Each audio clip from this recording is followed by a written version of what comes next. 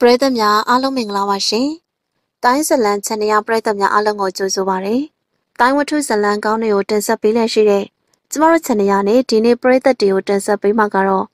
စာရေးဆရာဝနအောင်ရဲ့အိမ်မက်သူစာတိုင်းကညာဇလန်ရဲ့အပိုင်း28ဖြစ်ပါတယ်ရှင်။ဝန်ကျောင်းကတော့အံ့ဩစွာနဲ့ရေရွတ်နေမိပါတယ်။လုံးဝကိုမမျောလင့်ထားတဲ့သူဖြစ်နေတော့အံ့အားသင့်မှုတွေကပြည့်ရှံနေတယ်။အဲ့တော့ကျွေးစင်းဟာ လူရုလူဆန်းဆိုတာတက်တန်တာရင်းလူထင်မယ်။ဝမ်းကြောင်လှုပ်ကနေអော်လိုက်မယ်။လူရုလူဆန်းဆိုတာကသူမျောလက်မထားတဲ့သူဖြစ်နေတယ်မဟုတ်ပါလား။တန်ရုပ်ချင်းကရဲကြံကားကြုံဟုတ်ပါတယ်နော်။ကျွေးစင်ကောင်းကိုခါရလိုက်တယ်။ကျုပ်လောကကြီးနဲ့အဆက်ဖြတ်ပြီးတော့ဒီမှာနေတာနှစ်ပေါင်တော်တော်ကြာပြီ။သူ့ရဲ့နာမည်ကိုသိတာလွဲရင်တခြားဘာမှမသိဘူး။ဒါတော့ကျုပ်ကသိချင်တယ်လို့မင်းဖေကိုစွတ်မေးတာ။ သူဘသူ့ကိုမှပြန်မပြောရဘူးလို့ကျုပ်ကိုကတိတောင်းနေပြီးတော့မှကျုပ်ကိုပြောပြခဲ့တာဖခင်ဝန်ဆန်းရှိကတန်းရွတ်ခြင်းနဲ့အာမခံပစ္စည်းတွေတွေ့ဆုံပြီးတော့လူယူဖို့စူးစမ်းခဲ့တယ်ဆိုပေမဲ့ဒုက္ခရောက်တဲ့အချိန်မှာကိုညင်ခဲ့တဲ့ကျေးဇူးတွေကြောင့်ခွင့်လွတ်ခဲ့တဲ့သဘောရှိတယ်တန်းရွတ်ခြင်းရဲ့ဂုံတိတ်ခါကိုထိခိုက်မှဆိုတာကြောင့်ဘသူကိုမှဖွင့်မပြောဘဲနဲ့နေတယ်လို့ထင်ရှားပါတယ်လူလူစံတာမှမဟုတ်တက်တန်တာရှင်းလို့ထင်တဲ့ပတ်သက်ပြီးတော့ စာပေပညာရှင်ကျန်အုပ်ကုထံကကြားသိပြီးပါပြီ။ဟုတ်ပြီ။တန်ရိုချင်းကလျှို့ဝှက်ကောင်းဆောင်ပဲဖြစ်ရမယ်။တတန်တာကေယာနဲ့တာလောကသားတွေကိုရှတ်တပြရာသူ့ပဲဖြစ်မယ်။ဝမ်ကြောင်ရဲ့ရေရွတ်တဲ့အတန်ကြောင့်ကျွေးစင်မျက်မှောက်ကုတ်သွားတယ်။မင်းမဖြေစရာကိစ္စတွေရှိသေးတယ်နဲ့တူတယ်။ဟုတ်ပါတယ်။ဦးခုလိုရှင်းပြတဲ့အတွက်ဦးရဲ့ကျေးဇူးကြုတ်ပဲတော့မှမမေ့ပါဘူး။ဦးကကျွန်တော်ဖေဖေကိုတတ်တဲ့လူသက်သမားဖော်ထုတ်ပေးတဲ့အပြင် တားလောကပေါ်မှာကြာရောက်မဲ့အန်တီတွေကိုလည်းအကာအကွယ်ပေးခဲ့တာပါကျွန်တော်သွားခွင့်ပြုပါစကားဆုံးတာနဲ့ခြာကနေလှည့်ထွက်သွားတယ်ကျွေစင်းဟတ်တာဖို့ဟန်ပြန်လိုက်ပြီးတော့စိတ်ပြောင်းသွားတယ်ဟတ်တာချက်မပြုတ်တော့ပါဘူးဝမ်ကြောင်ရဲ့ကြောပြင်ကိုငေးကြည့်နေပြီတယ်ဝမ်ကြောင်ကတော့အပြေးတစ်ပိုင်းထွက်သွားပြီးတခဏအတွင်းမှာတော့မြင်ကွင်းကနေပျောက်သွားတယ်နေဝင်းနေကတော့အနောက်ဘက်ကငုံရှိုးကွယ်ပြောက်သွားတယ်အမောင်တူလှမ်းမိုးလာတော့ အိမ်တိုင်းလွတ်လွတ်မီးတွေထွန်းညှိထားပါတယ်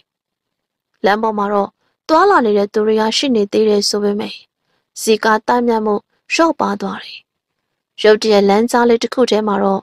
မိန်းကလေးတယောက်တရောတော့ပါပြေးထွက်လာတာကိုတွေ့ရပါတယ်။အဲဒီမိန်းကလေးကတော့ရင်းခုနံပါပဲ။သူမတကူလုံးဇောချွေးတွေနဲ့ဆူရွှဲနေတယ်။မျက်နှာကဖြူဖက်ဖြူရောနဲ့ကြောက်ရွံ့ထိတ်လန့်နေတဲ့အသွင်အထင်းသားပေါ်နေတယ်။သူမမျက်လုံးထဲမှာတော့မေးဝနန်းရဲ့ သေဆုံးသွားတဲ့ပုံမျိုးမြင်ရောက်နေတယ်။လျှို့ဝှက်ခိုင်းသားတိုင်းသမားတွေကစူပေါင်းတိုက်ခိုက်ချိန်မုံလိုက်တော့သေဆုံးသွားကြတဲ့ကျဲပွဲမျက်နှာဖုံးရှင်လဲပြန်လဲပြီးတော့ထွက်လာပြီးမေဝါနံကိုတက်ပြစ်လိုက်တယ်။သူမောက်လည်းတက်ဖြိုးကျိုးစားတယ်။ဒါပေမဲ့ရုပ်တရက်ရှင်းကုန်နဲ့ခြေလန်းတုံကနေရက်သွားပါတယ်။ငါငါတိုင်းသူမစဉ်းစားတယ်။စကားကလည်းထစ်ထင်ငုံငုံနဲ့ရှေ့မဆက်နိုင်ပါဘူး။သူမတန်းပညာကို အသုံးပြုနိုင်တယ်မဟုတ်ပါလားကျဲပွဲမျက်နှာဖုံးရှင်ကသူမတက်ခွက်ကြောင်ထိတ်လန့်ပြီးတော့ရှောင်းတိန်သွားတယ်ငါငါတိုင်းပညာတက်နေရဲ့နဲ့ဘာဖြစ်လို့ငါသူမြောက်ကြောက်နေတာလဲသူမအရှာအားလုံးကိုကြောက်ရွံ့ခဲ့တယ်အဲ့ဒီကြောက်ရွံ့နေတာကသူမရဲ့ဘဝလုံးချုံစိတ်ချမှုမရတဲ့အပြင်ဒုက္ခပိုပြီးတော့များခဲ့တယ်အိမ်တိုင်းကြီးကျူးဟန်ပြောတဲ့စကားတွေကိုသူပြန်ပြီးတော့ကြားတယ်တခင်မလေးကတက်တန်တာပညာကိုသင်ယူရမယ် တခင်မလည်းကြီးလာတယ်ဆိုရင်တက်တန်တာကြောင်ဖြစ်စီသွားတဲ့ရှင်သူတွေကိုရင်ဆိုင်ချေမုံရမယ်ဟမ်ကျမရင်မဆိုင်ရဲဘူးသူမကတော့ပါဖုန်းနဲ့ကျုံတွေ့ရတဲ့ပုံတွေကိုပြန်ပြီးတော့အမှတ်ရတယ်သူသူ့ကိုငါတက်ပြက်လိုက်တာပဲသူမတခါတရမှအလွန်ကြောက်တယ်တခါတရသူမအလွန်ရှက်ဆက်ကြမ်းကြုတ်တဲ့စိတ်တွေလွှမ်းမိုးခံနေရတယ်ငါငါဘာဖြစ်လို့ဒီလိုလုပ်တာလဲငါငါရဲ့ရန်သူငါတက်ပြက်ရတာလား။ အိုးငါကြောက်တယ်ငါမလောက်ရဲဘူး။ရုတ်တရက်တော့ဂျူဟန်ပြောဆိုတဲ့စကားတွေနားထဲမှာပဲ့တင်ထက်လို့မြည်ဟီးသွားတယ်။ရန်သူတွေကိုလက်စားချရမယ်။တယောက်မကျန်တက်ပြရမယ်။ဟုတ်တယ်တက်ပြရမယ်။ရဲကုနန်ကနားနှစ်ဖက်ကိုလက်နဲ့ပိတ်ထားလိုက်ပါတယ်။မျက်လုံးပြူးကျပြီးတော့အသက်ရှူမွန်းကျလာလို့ခေါင်းခါရမ်းပြလိုက်တယ်။ကြောက်ရွံ့စိတ်စိတ်ကျဉ်းကျပ်မှုတွေကြောင့်ချွေးတီချွေးပေါက်တွေစီးကျလာတယ်။ဒီကဘာပေါ်မှာတော့ သူမအတွက်လုံခြုံစိတ်ချရတဲ့နားကိုစရာတနေရာမှမရှိတော့ပါလားအခက်ခဲဒုက္ခအများပြားနဲ့ကြုံတွေ့ခဲ့ပြီးတော့အဲ့ဒီဒုက္ခတွေနဲ့ဝေးရလွတ်မြောက်ရကိုတော့သူမထွက်ပြေးနေမိတယ်။ရင်ကိုနန်ကပြေးလွှားရင်းနဲ့ဟန်ပြပါတယ်။အဲ့ဒီချိန်တော့လူရိတ်တရားထွက်ပေါ်လာပြီးမသေးမကွဲတွေ့မြင်လိုက်ရတယ်။ရင်ကိုနန်လှုပ်ကနေရေရွတ်မိတယ်။အတွေးစာတွေအားလုံးတမဟုတ်ချင်းကွဲပြောက်သွားတယ်။ကြောင်ရွံထိတ်လန့်မှုတွေလွှမ်းမိုးလာတယ်။ သူမကြောင်ရွံထိတ်လန့်တယ်။အဲ့ဒီချိန်မှာတော့လူရိတ်တရားဟိုမှဒီမှထွက်ပေါ်ပြီးသူမတံကိုတဟုန်ထိုးပြေးလွှားဝင်ရောက်လာပါတယ်။ဒုက္ခပဲ။ငါဘာလုပ်ရမှာလဲ။သူမထုံးစံအတိုင်းခြေနှချောင်းအားကိုပြီးတော့ထွက်ပြေးဖို့ဆုံးဖြတ်ပါတယ်။သူမကတော့အန်ဒီရပြုတ်မဲ့သူတွေနဲ့ဝေးရောင်ပြေးဖို့လွဲလို့တခြားဘာမှမစင်စားနိုင်ပါဘူး။ကြောင်ရွံထိတ်လန့်မှုတွေကြောင့်တဟုန်ထိုးပြေးထွက်သွားတယ်။လူရိတ်တရားသူမနောက်ကိုတဟုန်ထိုးပြေးပြောလိုက်တယ်။ ရင်ကူနဲ့ဘာကိုမှတတိမထားမိပါဘူး။ပြေးရင်လွှားရခလောက်တက်လို့မြေပေါ်ကိုလဲကျသွားတယ်။ဒါပေမဲ့ပြန်လဲလူးလိမ့်ပြီးတော့ထပ်ပြေးတယ်။အားကုန်ပြေးဖို့ကလွယ်လို့တခြားဘာမှလည်းမသိပါဘူး။အမလေးရုတ်တရက်သူမရှိရလူတယောက်နဲ့ဝင်ပြီးတော့တိုက်မိမလို့ဖြစ်သွားတယ်။ကြပြကြရရှောင်းတင်းလိုက်တော့အရှိန်လွန်သွားပါတယ်။မြေပေါ်လဲကျပြီးတော့သုံးလေးပတ်လောက်လိမ့်သွားတယ်။သူမဝင်တိုက်မိမလို့ဖြစ်တော့ဘေးကိုခုံပြီးတော့ရှောင်းပါတယ်။အဲဒီလိုကချက်ချင်း ရင်ကုနန္နာကိုချင်းကပ်လာတယ်။ရင်ကုနဲ့လက်ကိုကားပြတယ်။ကျမကိုမတက်ပါနဲ့။ကြောက်ကြောက်ရွံ့ရွံ့နဲ့တောင်းပန်လိုက်တယ်။မင်းကလေးမင်းဘလို့ဖြစ်လာတာလဲ။ကျမကိုချမ်းသာပေးပါ။ရင်ကုနဲ့အလန့်တကြားတောင်းပန်ပါတယ်။ကျုပ်ကမကြောက်ပါနဲ့။ကျုပ်မင်းကိုဒုက္ခမပေးပါဘူး။ရှင်ချပါကလေးမ။ကျုပ်ကလေးမကိုဒုက္ခပေးမှာမဟုတ်ပါဘူး။တကယ်ပြောတာနော်။တကယ်ပါ။ ရင်ကုနဲ့အဲ့ဒီလိုတိတ်တိတ်ချာချာကြည့်တယ်။အဲ့ဒီလိုကအသက်50ကျော်လောက်ရှိတဲ့အဖိုးတယောက်ပါပဲခြေတစ်ဖက်ပြက်ဒုက္ခိတတယောက်ဖြစ်တယ်ဒုက္ခိတကြီးဆိုပေမဲ့တီကြီးခတ်ညာတဲ့ရုပ်သွင်းနဲ့နှစ်လိုပဲကောင်းပါတယ်ရင်းကုနဲ့ရဲ့ရှင်ထဲမှာတော့ကြောင်ရွံထိတ်လန့်မှုတွေလျှော့ပါသွားတယ်သူမမတ်တက်ရက်တယ်ဒုက္ခိတရကလေးမဘလို့များဖြစ်လာတာလဲပြောပါအောင်လူလူစိုးတွေသူမရှေ့ဆက်မပြောနိုင်တော့ပါဘူးဒုက္ခိတရ လူစိုးတွေဟုတ်လားဟုတ်ပါတယ်ဘာမှလဲဟိုမှာရင်းကုန်တဲ့အနောက်ကိုညွှန်ပြတယ်။သူမကြောင်အန်းအန်းဖြစ်သွားတယ်။အကြောင်းကအနောက်မှာဘသူမှမရှိဘဲနဲ့ရှင်းရှင်းလင်းလင်းဖြစ်နေတာကြောက်ပါပဲ။လူရိတ်လူရောင်မပြောနဲ့ခွေးတကောင်ကြောင်တမီးအောင်မရှိပါဘူး။မင်းကလေးပြောတဲ့လူစိုးတွေကဘက်မှလဲ။သူသူတို့ဘသူမှလည်းမရှိပါလားကလေးမရဲ့။ရင်းကုန်နန်းကမျက်လုံးလေးအဝိုင်းသားနဲ့ ဒုက္ခိတာကိုကြည့်နေမိတယ်။ဒုက္ခိတာရဲ့တက်ပြင်းချတယ်သူတို့ထွက်ပြေးသွားပြီနဲ့တူတယ်။ရဲကုနဲ့ဘလို့ပြန်ပြောရမှမသိပါဘူး။ဒုကိတာရသူမကိုပြောပြပြီးတော့ကဲကလေးမ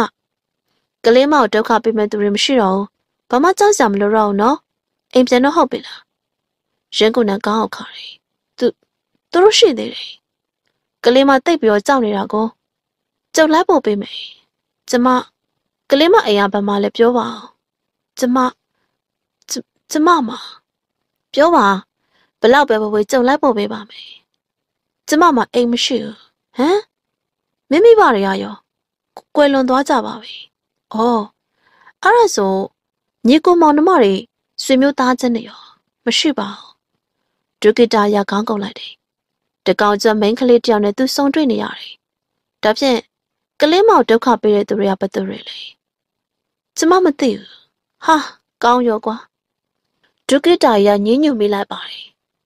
ရင်းကုနဲ့နဲ့ပတ်သက်လို့ဘလို့နားလည်ရမလဲဆိုတာလည်းမစင်းစားတတ်တော့ပါဘူး။အဲ့ဒီချိန်မှာတော့လေတိုးတန်ဒီထွက်ပေါ်လာတာကြားရတယ်။ဒုက္ကတိုင်မျက်မှောက်ကုတ်သွားတယ်။အမောင်ရိတ်ထေကလက်နက်ပုံနေပြက်လွန်မှန်းတတိပြုတ်လာမိတယ်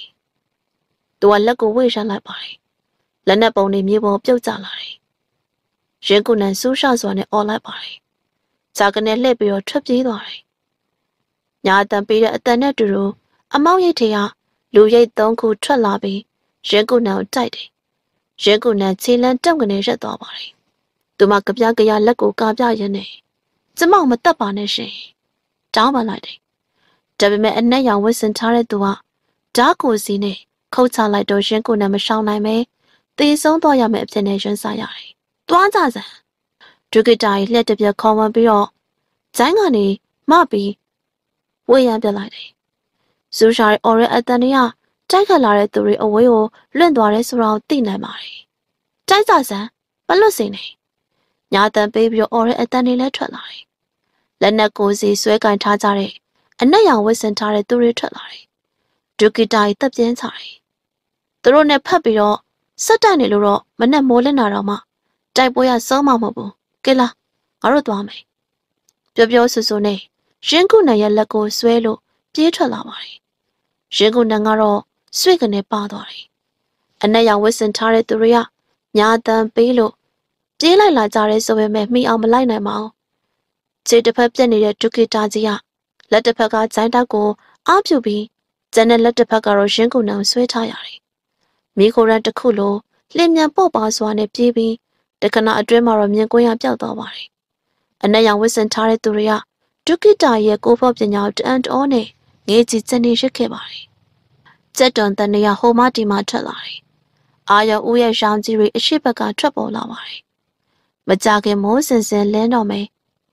မိုးလင်းခါနေမြို့နင်းနေကြလာတယ်အေးမြမောဝင်းစင်တစ်ခုလုံးလွှမ်းချောင်လာတယ်တောင်ကုန်းလေးပေါ်မှာမီးပုံတစ်ခုရှိပါတယ်အဲ့ဒီမီးပုံဘေးမှာတော့ လူနှစ်ယောက်ထိုင်လို့မီးလောင်နေကြတယ်အဲ့ဒီလူနှစ်ယောက်ကဒုက္ကိတာကြီးနဲ့ရှင်ကုနန်တို့ဖြစ်ပါတယ်ဒုက္ကိတာကြီးကမီးပုံမှာရုံလေးတစ်ကောင်ကိုမီးကင်နေပါတယ်ရင်ကုနန်ကတော့မင်းညိုမီးလျံတွေကိုငေးမောကြည့်နေမိတယ်။မွေးကြိုင်လာရဲ့နဲ့နေထွက်ပေါ်လာတယ်။ဒုက္ခိတာကြီးကရုံကင်းကိုအေးခံလိုက်ပါတယ်။ရော့စားလိုက်ပါအောင်ကလေးမ။ရင်ကုနန်ကိုတဝက်ခွဲပြီးတော့ပြောလိုက်ပါတယ်။ရင်ကုနန်ကောင်းအောင်ခေါ်တယ်။ ကျမမစားကြ။ဘာဖြစ်လို့လဲ။တနာလို့ပါ။ဟေးတနာလို့ဟုတ်လား။ဟုတ်ပါတယ်။မင်းတော်ကိုထူးစားတဲ့မင်းကလေးပဲ။မင်းကသူတို့ဘယ်လိုလုပ်ပြီးတော့အဲ့ဒီလူတွေနဲ့ပတ်သက်နေတာလဲကျမမသိဘူးဟေး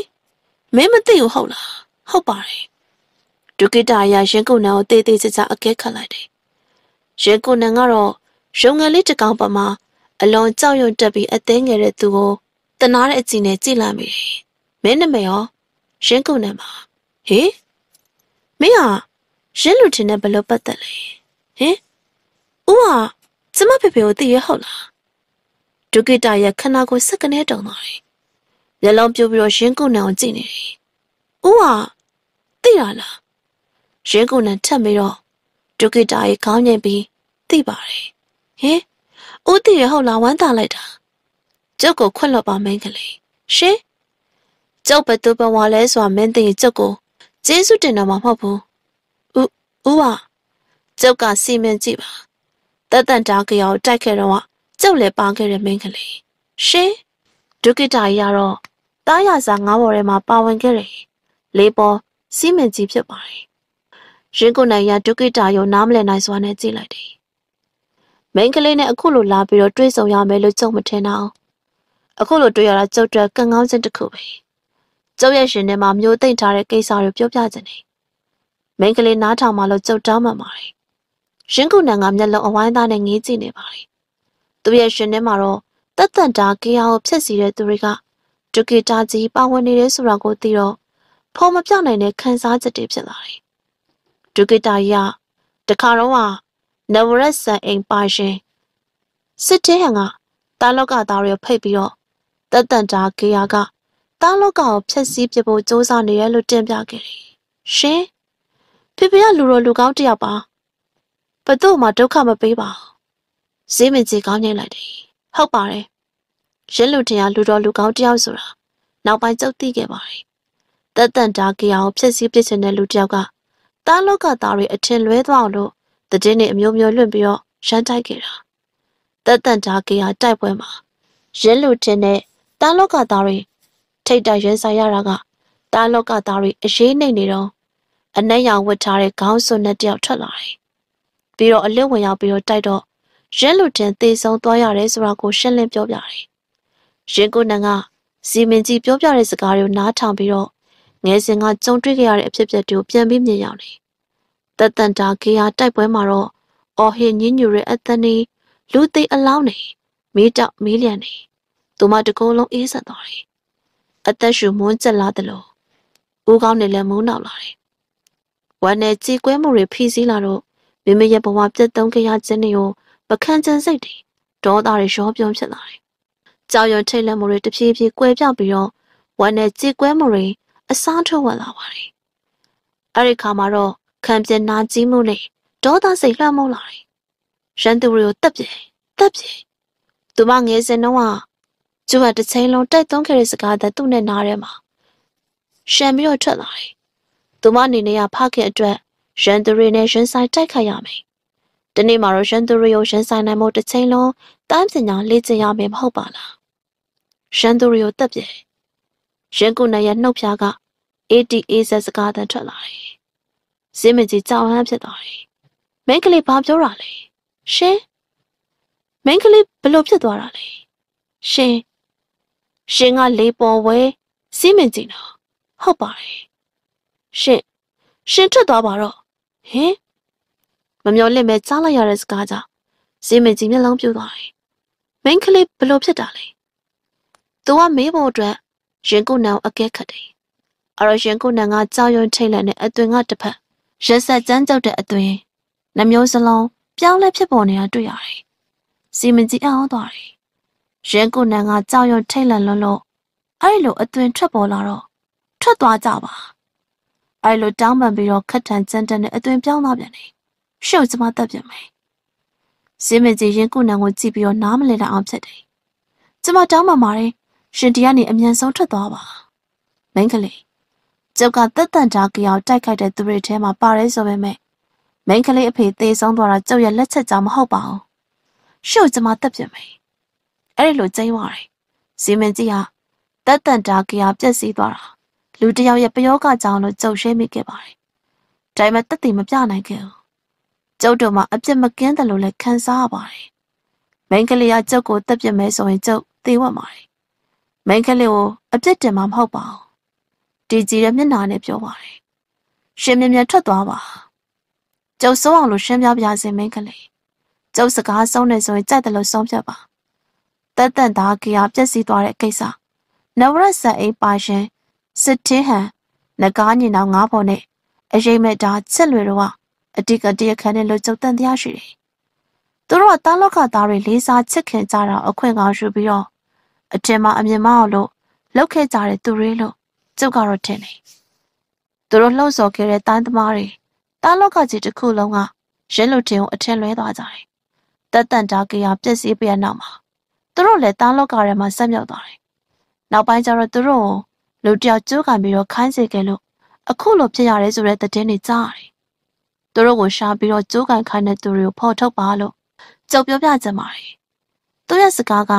ရင်ကုနန်ရဲ့နားထဲမှာအသေးတဲ့ထိတောင်လို့စိတ်ဝင်သွားတယ်။ ရင်ကုနန်ကစိတ်ဝေဒနာခံစားနေရပြီးတော့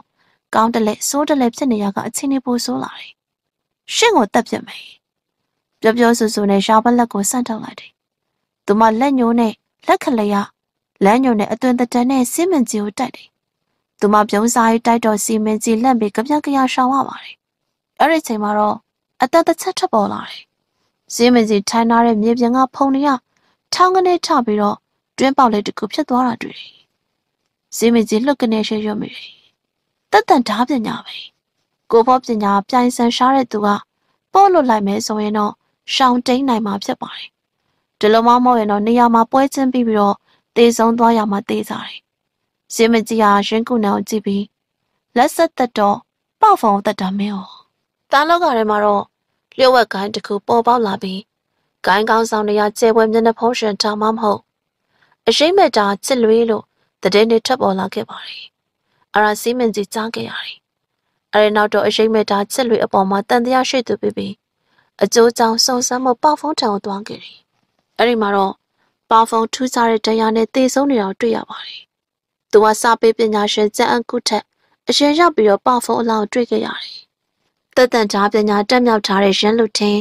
သေဆုံးသွားတာကကြာပြီဖြစ်ပေမဲ့ပါဖုံအသက်ခံရတဲ့အတွက်ရဲလူချင်းသေရွာပြန်ပြီး ပါဖုံကိုတိုက်ခိုက်နေပါတော့တယ်။မဖြစ်နိုင်အောင်အတွေးမှလို့ပါဖုံရဲ့အိမ်ထဲမှာဆက်မနေရတော့ဘဲနဲ့ပြေးထွက်သွားခဲ့မိပါတယ်။တသက်ဓာပညာပြန်လဲပြီးတော့ပေါ်ပေါက်လာခဲ့တာဖြစ်တော့တောင်ကြားထဲမှာဆက်မြုပ်မနေတော့ဘဲနဲ့အချင်းနေစုံစမ်းမှုတားလောက်ကောင်ဆင်းလာကြကရင်ကုနန်းနဲ့တက်တိုက်ဆိုင်ဆိုင်တွေးမိပါတယ်အခုရင်ကိုနန်ကဖခင်ကိုတက်ခဲ့တဲ့ရန်သူအဖြစ်အညှိုးထားပြီးတော့တိုက်လာပါလေ စင်းမင်းကြီးဟာရင်ကုနန်ကိုမယုံကြည်နိုင်စွာနဲ့ကြည်နေပါတယ်ရင်ကုနန်ထပ်မံပြီးတော့တိုက်ဖို့ဟန်ပြန်လိုက်တယ်စင်းမင်းကြီးရှင်ထိတ်သွားတယ်သူကတရားမကိုကြောက်ရွံ့တဲ့သူတော့မဟုတ်ပါဘူးအဖြစ်မှန်ကိုဖော်ထုတ်ပြီးတော့မှအသက်ဆုံးရမယ်ဆိုရင်လည်းစွန့်ကျင်တယ်လူတယောက်ရဲ့ပြည့်ရဲ့ကြောင့်မှားယွင်းခဲ့တဲ့အဖြစ်ကိုတော့ဖော်ထုတ်ခြင်းမပြုတ်ရဘဲနဲ့တော့သူမသေးစမအောင်မင်းကလေးမင်းမားမယ်ကြောက်ရှင်းပြမယ်ရှင်သေးဖို့သာပြင်ပါ ရင်ကုနန်ကအော်ငေါ့ပြီးတော့ထပ်ပေးတိုက်တယ်သူမတက်တန်ဓာပညာကိုထပ်မံပြီးတော့အသုံးပြုလိုက်ပါတယ်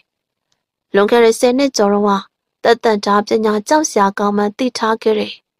ဈေးမင်ကြီးတယောက်ကတော့ထိတ်တိုင်ရင်မဆိုင်ရဲပဲနဲ့အနောက်ကိုဆုတ်လို့ရှောင်တိန်လိုက်ရတယ်ဈေးမကြီးရက်နေတဲ့နေရာမှာတော့အနောက်ဘက်ကိုကြောက်တုံတတုံကွဲအကျီမော့သွားတဲ့အတန်ကြားရတယ်။ဈေးမကြီးမျက်နှာဖြူပဲဖြူရောဖြစ်သွားပါတယ်။ရင်းလူထင်းကြောင့်တန်လောကပြည့်စည်ရမယ်ဆိုတဲ့စကား မနာလိုတဲ့သူတယောက်ရဲ့ဂုံးလျှောစကားဖြစ်ပါတယ်။အဲဒီရင်းလူတရားတိုင်းသမားတယောက်ပြီးပြီးတန်လောကတော့ဘယ်တော့ခါမှဒုက္ခပေးမှာမဟုတ်ပါဘူး။အခုတော့ရင်းလူထင်ရဲ့သမီးရင်းကိုနန်းကိုဒီမိန်းကလေးကစိတ်ဝေဒနာရှင်လေးတယောက်ပဲ။သူကပြန်ဘက်ကင်းတဲ့တက်တန်ဓာပညာကိုတက်မြောက်ထားတယ်ဆိုတော့อืมတိုင်းလောကတစ်ခုလုံးဒုက္ခရောက်ရမှာစင်မကြီးအဲ့ဒီလိုတွေးပြီးတော့ရှင်းလေးသွားတယ်အတွေ့အကြုံရှင်းချက်တဲ့သူတွေဖြစ်တာကြောင့် ရင်ကုနိုင်ရဲ့စိတ်ကအသွင်နှမျိုးဖြစ်နေတာကိုလက်တွေသိရတာကတကြောင်မို့အချိန်ဒီအမှန်ကိုတော့သုံးသပ်မိပါတယ်စိတ်ပြက်အားငယ်မှုတွေလွှမ်းမိုးနေတော့ရင်ကုနန်ကရုံလေးတကောင်လိုအသေးငယ်နေတတ်ပါတယ်အရာရာကြောက်နေတတ်တယ်သူမရဲ့စိတ်ကိုမသိစိတ်ကလွှမ်းမိုးတော့ကြုံတွေ့ခံစားရတဲ့ရှင်နဲ့စရာအဖြစ်ဆိုးတွေကြောင့်လောကကြီးတစ်ခုလုံးမောင်းတီးလို့ရက်ဆက်ကြမ်းကြုတ်တဲ့သူဖြစ်လာတယ်။ပြန်ဘက်ကင်းတဲ့တက်တန်ဓာပညာတက်မြောက်ထားတယ်။ သူမမုန်းတီးစိတ်ကိုအခြေခံပြီးတော့ဒုက္ခပေးမယ်ဆိုရင်တော့တားလောကတစ်ခုလုံးအုပ်အောတောင်းနေဖြစ်သွားရမှာတော့သိစားတယ်။ဇေမန်ကြီးကတော့ရင်းကုန်နံကိုအထိတ်တလန့်ငေးကြည့်နေပါတယ်။သူမမျက်လုံးနဲ့အရှောင်းတစ်ဖက်ဖက်ဝန်းလန့်နေတယ်အသိတရားရှိနေတဲ့အချိန်မှာမလှုပ်ရဲတာမှန်သမျှမသိစိတ်တရားလွှမ်းမိုးနေတော့ကိစ္စအားလုံးကိုသူအခုလှုပ်ရဲနေပါတယ်။သူမမမေကိုအရှင်ထားမှာမဟုတ်ဘူးလို့စီမင်ကြီးတွက်လိုက်တယ်။ဘင်္ဂလီ ကျုပ်ကိုတက်ပြက်လိုက်မယ်ဆိုရင်မင်းဖေကိုတက်တယ်လို့ဘသူဆိုတာမင်းဖော်ထုတ်နိုင်တော့မှာမဟုတ်ဘူး။ရင်ကိုနဲ့သူ့စကားကိုလည်းနားမဝင်ပါဘူး။သူမအရှိ့တိုးလာပြီးတော့တိုက်ခတ်ဖို့ဟန်ပြန်ပါတယ်။စီမင်ကြီးကနောက်ကနေခုံဆုပ်ရှောင်တိန်ဖို့ဟန်ပြန်လိုက်တယ်။အဲ့ဒီချိန်မှာတော့ဝီကနေလေးတိုးတန်ထွက်လာလို့လက်နက်ပုံကလေးတွေကသူတို့နှစ်ယောက်ထဲမှာတဟုန်ထိုးပြက်လွတ်လာတာတွေ့ရပါတယ်။ဝီကနေလေးထိုးတန်တွေထွက်လာတယ်။လက်နက်ပုံကလေးတွေတရှိန်ထိုးပြက်လွတ်လာတယ်။ ဇီမီကြီးလက်ပြန်ပြီးတော့ကြပြကြရရှောင်တိန်ပါတယ်။ရင်ကုနန်အတွက်လည်းသူစိုးရင်သွားတယ်။မြင်မြင်ရှောင်လိုက်။ဒါပေမဲ့ရင်ကုနန်ကရှောင်တိန်ခြင်းမပြုတ်ဘဲနဲ့လက်ကိုဝိတ်ရလိုက်တယ်။အဲ့ဒီမှာတော့လေးဝေးတစ်ခုဖြစ်လာလို့လက်နက်ပုံလေးတွေကလာရလက်အတိုင်းပြန်ပြီးတော့မှပြက်လွန်သွားတယ်။အာကနေဆူရှာတဲ့အော်တန်တွေထွက်လာတော့ကြားပါတယ်။ဇင်းမင်ကြီးပါစက်အဟောင်းသားဖြစ်သွားတယ်။ရင်ကုနရဲ့သားပညာကမျောလင့်ထားတာထက်ကြောက်စရာကောင်းနေတယ်မဟုတ်ပါလား။ဘ လို့ပဲဖြစ်ဖြစ်ဆူရှာတဲ့အော်တန်တွေထွက်ပေါ်လာတော့ရင်ကုနအာယုံပြောင်းသွားပြီးကံကောင်းထောက်မာတယ်လို့ပဲဆိုရမယ်။ရင်ကုနသူ့ကိုဂယုမဆိုင်ပဲနဲ့အော်ဟစ်တန်တွေထွက်လာရစီကိုခေါင်းလဲသွားတယ်အဲ့ဒီချိန်မှာတော့ရှားကနေညာတန်ပေးတဲ့သူနဲ့တူတူအနက်ရောင်ဝတ်ထားတဲ့သူတွေကဟိုမှဒီမှပြေးထွက်လာတော့တွေ့ရပါတယ်။ရင်ကိုနဲ့မလုံးမရှက်ရက်နေတယ်။ခက်ထန်တဲ့အကြည့်နဲ့ပြေးလာတဲ့သူတွေကိုကြည့်တယ်။အနက်ရောင်ကိုဝတ်ပြီးတော့နက်နဖုံးဆွပြီး ရှုပ်ဖြစ်ထားကြပါတယ်။အချင်းတွေကိုမရှိမိပဲနဲ့တိုက်ခတ်ဖို့တဟုန်ထိုးပြေးလာတယ်။အနားကိုရောက်တော့လက်နက်ကိုစီနဲ့ပြင်းထန်စွာနဲ့တိုက်ကြပါတယ်။ရင်ကိုနဲ့ချင်းချင်းပြန်လဲတိုက်တယ်တောင်ကလေးပေါ်မှာတော့ပြင်းထန်တဲ့တိုက်ပွဲတစ်ခုရုပ်ချီဖြစ်လာပါတယ်။အားကနေဆူးရှာတဲ့အတန်လေးလည်းထွက်လာတယ်။အနက်ရောင်ဝတ်ထားတဲ့သူတွေကကားကနေဖြစ်ပြီးတော့တယောက်ပြီးတယောက်လွင့်စင်ကျလာတယ်။တက္ကနာအတွင်းမှာတော့ဝိုင်းရံပြီးတော့တိုက်နေကြတဲ့သုံးပုံနှစ်ပုံက ရင်ကုနိုင်ရဲ့လက်ချက်မိလို့မြေပေါ်မှာလဲကျကုန်တယ်။ကျန်တဲ့အနက်ရောင်ဝတ်ထားတဲ့သူတွေကတော့စက်မတိုက်ရတော့ဘဲနဲ့နောက်ဆုတ်သွားတယ်။ရင်ကုနန်ကရှင်တို့ဘယ်ပြေးမလို့လဲ။အော်ငေါ့ပြီးတော့ရှေ့ကိုခုံဝင်ပြီးတော့တိုက်တယ်။ဇူရှာတဲ့အော်တနီတပြိုင်နက်ထဲထွက်လာတယ်။အနက်ရောင်ဝတ်ထားတဲ့သူတွေကမြေပေါ်မှာလဲကျသွားပြန်ပါတယ်။ကျန်တဲ့သူတွေကတော့တိုက်ခိုက်ဖို့မစိုးထားနေ။ရင်းကုနိုင်ရဲ့မျက်နှာကကြည့်မယ်ဆိုရင်တော့ကြောက်ရွံ့နေကြတယ် အရာကြောင့်ဖနှောက်နဲ့တင်ပါတသားတဲ့ကြောင်ထွက်ပြေးတယ်ရှင်တို့ပြေးလို့လွတ်မလားရင်းကုန်နဲ့ကျုံသွားပြီးတော့မြေပေါ်ကကြောက်ခဲလေးတွေကိုကောက်လို့ပြစ်ပေါက်ပါတယ်ထွက်ပြေးသွားကြတဲ့သူတွေရဲ့နောက်စီမှာတော့တဲမစွာနဲ့ထိမှန်လို့ဘုံကနေဘိုင်းကနေလေးကျသွားကြတယ်တောင်ကုန်းပေါ်ကိုကျနေတဲ့အနက်ရောင်ဝစ်စင်ထားတဲ့သူတွေလည်းပြန့်ကျဲနေပါတယ်ရင်းကုန်နဲ့ကိုတော့တုတ်တင်မှုလာကြတဲ့သူတွေကရင်းကုန်နဲ့လက်ချက်မိလို့အသက်ပြောက်ကုန်ကြတယ် တယောက်တလေမှတောင်ကုန်းပေါ်ကနေပြန်ဆင်းသွားနိုင်ကြမှာမဟုတ်ပါဘူး။စင်မကြီးကတော့ရှင်ကုနန်ကိုကြည့်ပြီးငုံငိုးကြည့်ရက်နေပါတယ်။အဲ့ဒီချိန်တော့ရှင်ကုနန်ကသူ့ဘက်ကိုလှည့်လာတယ်။စင်မကြီးတက်ပြင်းစားတယ်။ရင်းလွန်ထန်တာမင်းကြောင့်သိမဲ့ဆိုရင်ကျင်းတွေတားမြတ်မှာရှင်ကုနန်ဘာမှမပြောပါဘူး။စင်မကြီးဘလုံးရှယ်ရက်နေပါတယ်။ရင်းကုနန်ကတော့စင်မကြီးကိုတိုက်ဖို့ဟန်ပြန်ပါတယ်။ရုတ်တရက်ရှင်ကုနန်ရဲ့ခနာကိုစက်ကနေတုံသွားတယ် ခတ်တန်တင်းမာတဲ့အတွင်ချက်ချင်းပြောင်ပြီးတော့မျက်နှာတစ်ခုလုံးဖြူရောသွားတယ်။သူမမြေပေါ်ဒူးထောက်ကြလို့မျက်နှာလှဝါးနဲ့အုပ်ပြီးတရှုံရှုံငိုတယ်။မမျော်လင့်တဲ့မြင်ကွင်းကြောင့်စီးမင်ကြီးပါဆက်အဟောင်းသားဖြစ်ရတယ်။တဆက်တည်းမှာမဖော်ပြနိုင်တဲ့ဝမ်းသာခြင်းလည်းခံစားရတယ်။ရင်ကိုနန်ရဲ့ပြောင်းလဲသွားတဲ့အခြေအနေတွေကိုသူတတိပြုမိပါတယ်။ရင်ကိုနန်ကိုလွှမ်းမိုးထားတဲ့အသေးစိတ်တွေကကြာရှည်မခံမနဲ့ပျောက်သွားတယ်။အသေးစိတ်တွေအမှန်ရှောင်းလာပြီးတော့ ရင်းကိုနန်ကရက်ဆက်ကြမ်းကြုတ်တဲ့သူအဖြစ်ကြောက်ရွံ့အားငယ်တတ်တဲ့သူအဖြစ်ကိုတမဟုတ်ချင်းပြောင်းလဲနိုင်စွမ်းရှိနေပါတယ်။မငိုပါနဲ့မိန်းကလေးဖြောင်းဖြောက်ပြီးတော့အရှို့တိုးလာပါတယ်။အချိန်လေးကတော့တရွေ့ရွေ့ကုံဆုံးသွားတယ်။ကျမ်းပြပေါ်မှာအလောင်းသုံးလောင်းကမြေမြုပ်တကြိုးမဲ့သူမရှိတဲ့တိုင်ဒီတိုင်ရက်ရှိကြစွာနဲ့ရုပ်ပြက်ဆင်းပြက်အပုပ်နောက်နဲ့တထောင်းထောင်းထွက်နေပါတယ်။ခေါမထုတ်တန်းမှာတွဲလောင်းချနေတဲ့သူတယောက်ရှိတယ်။အဲ့လိုကရှောင်ပဲမှာပဲ။ ရှာဘန်းကိုဖမ်းဆီးနှိပ်စက်နေတဲ့ဟုတ်အိမ်ကတော့ပုံရန်ကီးနဲ့တင်ပို့တော့ရောက်လာတဲ့အခါမှာတယောက်ကိုတယောက်အကောက်ချန်ပြီးတော့၃ယောက်စလုံးသေးသွားကြတယ်။သူတို့၃ယောက်ကတော့မြေမြုပ်တကြိုးပေးမဲ့သူလည်းမရှိအလောင်းတွေပုတ်ပွားပြီးတော့အပုံနဲ့တထောင်းထောင်းထနေတယ်။အဲ့ဒါပြင်တော့ခါမိုထုတ်တန်းပေါ်မှာကျိုးနဲ့တွဲလောင်းချပြီးအချီခနာရတဲ့ရှောင်းပင်းလေးကျိုးဖြတ်ပေးမဲ့သူမရှိတော့ဒုက္ခရောက်နေရတယ်။အချိန်နဲ့တရွေ့ရွေ့ကုံဆုံးသွားတော့ ဟုတ်အိမ်နှိမ့်ဆက်တဲ့တန်တွေကပြည့်တဲလာတယ်။အစာရည်စားမစားရတော့တန်ရပို့ပြီးတော့ပြင်းထန်တယ်လို့အားရင်လည်းကုန်ခန်းလာတယ်။တစ်ချိန်လုံးတွဲလောင်းချအခမ်းနားရတော့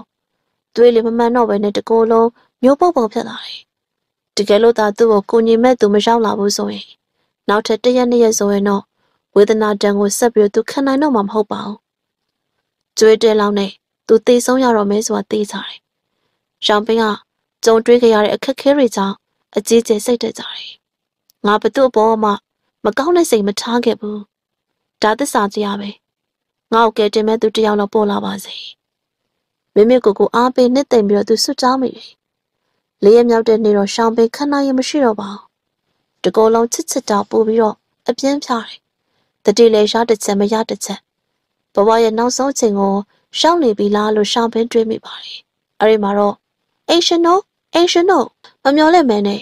အပြင်ဘက်ကခေါ်တန်းထွက်လာပါတယ်။ရှောင်းပင်ဖုံမပြနိုင်အောင်လို့ဝမ်းသာသွားတယ်။သူကခေါ်တန်းမျိုးမျိုးကြားဖို့တယ်။အခုတစ်ချိန်ကြားရတာတော့ဝမ်းသာစရာကောင်းတဲ့ခေါ်တန်းမျိုးသူမရှိတော့ဘူးလို့တော့ထင်မိတယ်။ချက်ချင်းပြန်ထုတ်ဖို့စူးစမ်းပေမဲ့အာကောင်၆ကပ်ပြီးတော့နှကန်းနဲ့ကွဲအပ်နေတယ်။အသက်မထွက်ပါဘူး။ရှောင်းပင်အားကုန်ဖြစ်ညစ်ပြီးတော့အတန်းပြူတယ်။အတန်းကထွက်ပေါ်လာခြင်းမရှိပါဘူး။ရှောင်းပင်ကြောက်ရွံ့သွားတယ် တကယ်လို့အပြင်ဘက်ကခေါ်တန်ရှင်ကအတွင်းဘက်ကတုံ့ပြန်တန်ကိုမကြားရအောင်ဆိုရင်ပြန်လဲသွားဖို့အသက်ရှင်ဖို့မျှော်လင့်ချက်မရှိသလောက်ပါပဲဟုတ်အိရဲ့အင်္ဂလိပ်ကတော့လူတည်ကင်းဝဲပြီးတောတောင်ပေါ်မှာတည်ရှိပါတယ်အဲဒါကြောင့်တနစ်နေလို့ဧည့်သည်တယောက်ရောက်လာဖို့မလွယ်ပါဘူးအနေနာပတ်ဝန်းကျင်ကဖြတ်သွားတဲ့လူသူစွာလေအင်မတန်မှမရှိသလောက်ရှားတယ်အခုလူတယောက်ရောက်လာတာကနတ်တချာမှလို့များသူ့တက်ကိုကဲတင်မို့ ဖန်ဆင်းလို့လွတ်လိုက်သလားလို့ရှောင်းပင်းထင်မိတယ်။ခေါ်တန်ရှင်ထွက်မသွားဖို့ကလွဲလို့အရေးကြီးရဲ့ကိစ္စမရှိတော့ပါဘူး။တုံးပြန်တန်ကိုမကြားရတော့ခေါ်တန်တိတ်ဆိတ်သွားတယ်။ရှောင်းပင်းတုံးပြန်တန်ပေးဖို့အပြင်းထန်ကြိုးစားတယ်။အိရှင်တို့အိရှင်တို့ခေါ်တန်ထက်ထွက်လာတယ်။ရှောင်းပင်းကအတန်မထွက်နိုင်တယ်လို့ကိုကိုကိုဒေါသလေးထွက်မိတယ်။သူကတုံးပြန်တန်ပေးနိုင်မယ်ဆိုရင်တော့အပြင်ဘက်ကခေါ်တန်ကအိမ်ထဲဝင်လာမှသိကြတယ်။ဟမ်အပုတ်နိုင်ပါလား အပြင်ဘက်ကနေတော့ရေရွတ်လိုက်တဲ့စကားတောင်လဲကြားတယ်။ရှောင်းပင်မတုံ့ပြန်နိုင်သေးဘူးဆိုပေမဲ့သေဆုံးနေကြတဲ့ဟုတ်အိမ်တို့တုံ့ပြန်လိုက်ကြပါပြီမရှိမနောက်မှာတော့လူတယောက်အိမ်ထဲလှမ်းဝင်လာတယ်မိန်းကလေးတယောက်ပါပဲအဲ့ဒီမိန်းကလေးအိမ်ထဲရောက်လာတော့ဟုတ်အိမ်တို့ရဲ့အလောင်းတွေကိုတွေ့တယ်ဟင်သူတို့ကတေကုန်ကြပြီလားသူမဟုတ်အိမ်ရှုကဲရည်နဲ့တင်းပို့တို့ကြည့်လိုက်ပါတယ်သူမကတော့ကပောက်ကြံကိုရှောင်ဖွေပြီးတော့လက်လျှော့လိုက်တယ် စွန်းမဲတော်ရဲ့တပည့်ကျင်းကုလျံဖြစ်ပါတယ်ဗရဏကူကနေအန်တီယနဲ့ရင်ဆိုင်ပြီးရနောက်မှာကျင်းကုလျံကဆရာဖြစ်သူကဲ့သို့ဆက်ပြီးတော့ရှာဖွေဖို့စိတ်ပြတ်သွားတယ်သူမဟုတ်အိမ်တို့ရှိအောင်လမ်းခွဲလို့တားလော့ကောင်ပြန်လဲပြီးတော့လှည့်ပတ်လာတယ်အခုတော့ဆရာဖြစ်သူထံပြန်တော့မယ်လို့နှုတ်ဆက်ဖို့ဟုတ်အိမ်ထံကိုသူလာခဲ့တယ်ဟုတ်အိမ်တို့တေဆုံးနေတာကိုတွေ့တော့တန်တောနဲ့တက်ပြင်းကြတယ်သူတို့ကတားလော့ကောင်နဲ့ပတ်သက်လာရင်ကို့အချင်းချင်းတော့မညာဘူး ကောက်ချစ်ဆင်းလဲကြတယ်ဆရာပြောတာမှန်တယ်သူကရေရောလိုက်ပါတယ်ရှောင်းပဲသူမစကားကိုကြားတော့လှမ်းခေါ်ဖို့ကြိုးစားတယ်อืมအလောင်းတွေမြုပ်ပေးဖို့ဘယ်နည်းနဲ့မှမဖြစ်နိုင်တော့မှန်ပါတယ်အလောင်းတွေကရုပ်ပြဆင်းပြပါပဲကင်တွယ်ဖို့ခက်ခဲနေပါတယ်မြေမြုပ်တကြိုးပေးဖို့လည်းမဖြစ်နိုင်တော့ပါဘူးဟုတ်ပြီဒီအလေးကိုမီးရှို့ပလိုက်မယ်အဲ့ဒါဆိုရင်တော့တကြိုးပေးသားဖြစ်သွားမယ်သူမစကားကိုကြားတော့ရှောင်းပဲထိတ်လန့်တုန်လှုပ်သွားပါတယ် အမျိုးမျိုးအနှိမ့်ဆက်ခံရတဲ့အပြင်အရှင်လက်လက်ကြီးမီးရှို့ခံရတော့မယ့်အဖြစ်သူကြုံတွေ့တယ်ကျင်းကုလန်ကစပွဲပေါ်မှာရှိတဲ့မီးရင်ကိုဆွဲယူလိုက်ပါတယ်အဲနောက်ကျမ်းပြင်ပေါ်ပစ်ချလိုက်တယ်မီးအိမ်လေးကကွယ်အကြေမွပြီးတော့လောင်စာရီကျမ်းပြင်ပေါ်မှာရွှဲရွှဲဆိုသွားပါတယ်ကျင်းကုလန်ကမီးခက်ကြောက်ကိုထုတ်လိုက်ပြီးတော့မီးချစ်လိုက်တယ်